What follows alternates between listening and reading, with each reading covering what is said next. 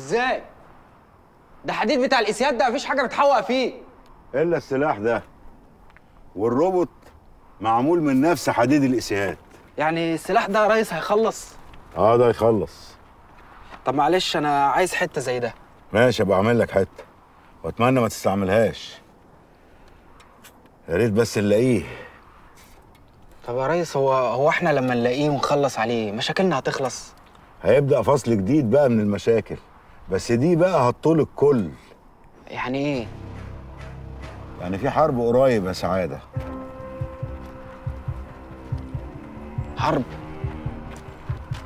حرب ليه؟ ده إحنا ما صدقنا الدنيا هدت شوية. سنة الحياة يا سيدي لما العدل بيغيب لازم الحرب تحصل. وهي الدنيا مستحملة. دي خلاص بقت على البلاطة. هيحاربوا بعض ليه؟ وعلى إيه؟ انت مش فاهم يا سعادة.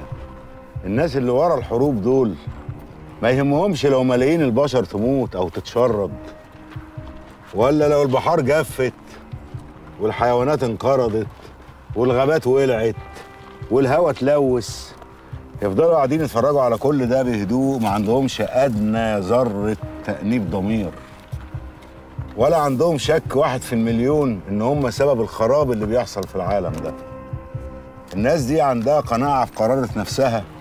إنهم خير إنهم هم الصح هم الهدية اللي ربنا بعتها للعالم وهيفضلوا برضه مستمرين في الخراب اللي بيعملوه من غير حتى ما ياخدوا استراحة. طب وبعدين؟ كل اللي انت شايف إنه مستحيل هيبقى ممكن وكل اللي انت خايف منه هيحصل. انت تعرفش يعني إيه حرب؟ تعرفش فكرة الحياة ممكن تكمل في ظروف عاملة إزاي؟ الحرب بتخلي الناس عايشة في فقر. وغلب فوق الاحتمال. بتحول حياتهم لجحيم لعذاب. والناس بتبقى عايشة على أمل إن العذاب ده يخلص أو إنهم يموتوا. وكل ده عشان إيه؟ عشان شوية أنانيين ما بيفكروش غير في نفسهم.